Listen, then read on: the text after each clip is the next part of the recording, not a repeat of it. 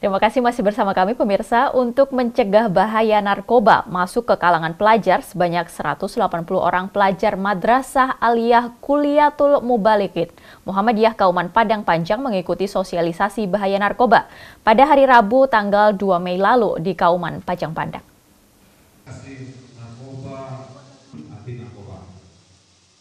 Madrasah Aliyah Kuliatul Mubalikin Muhammadiyah Kauman Padang Panjang bekerja sama dengan Kepolisian Resort Kota Padang Panjang mengadakan sosialisasi bahaya narkoba bagi siswa madrasah yang pernah dipimpin oleh Buya Hamka ini. Dampak dan bahaya narkoba yang begitu besar sehingga bisa menghancurkan generasi bangsa menjadi perhatian bagi Kepala Madrasah Derliana untuk mengadakan kegiatan ini.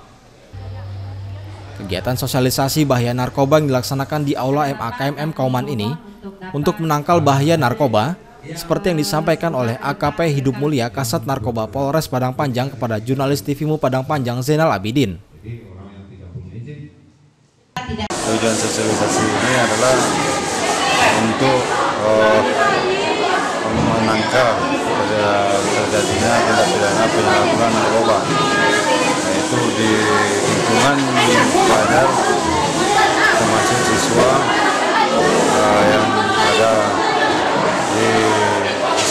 sekolah-sekolah maupun di luar tugas dan Ini gunanya adalah untuk antisipasi dengan terjadi lagi narkoba. Dan seminim-minimnya adalah penaikan, ditekan adanya angka narkoba di wilayah Pelabuhan. Jadi untuk itu kami sangat uh, um, terima kasih sekali dengan ada acara ini yang dimotori oleh uh, sekolah ini. Nah, kami sangat mendukung sekali. Kepala Madrasah MAKMM Kauman Padang Panjang Derliana menyampaikan tujuan kegiatan sosialisasi bahaya narkoba yang diikuti oleh siswa Madrasah Aliyah Kuliatul Mubaligin Muhammadiyah Kauman Padang Panjang sebanyak 180 orang ini.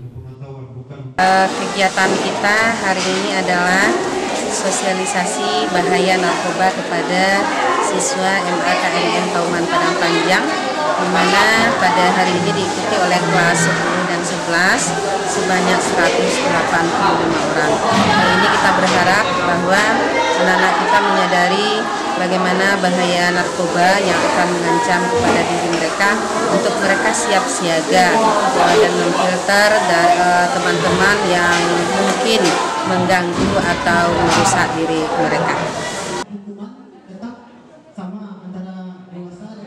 Dengan melaksanakan kegiatan sosialisasi bahaya narkoba bagi pelajar Madrasah Aliyah Kuliatul Mubaligin Muhammadiyah Kauman Padang Panjang dapat memfilter bahaya narkoba kepada siswa madrasah. Zainal Abidin memberitakan dari Padang Panjang, Sumatera Barat.